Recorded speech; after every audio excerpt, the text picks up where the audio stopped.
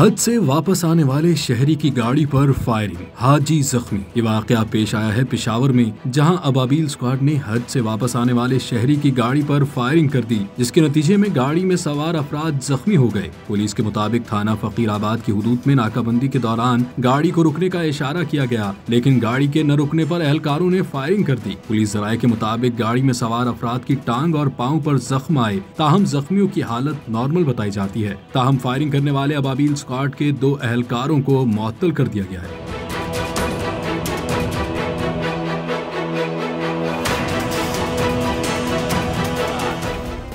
Subscribe करें और bell दबाएँ ताकि कोई खबर रह न जाए।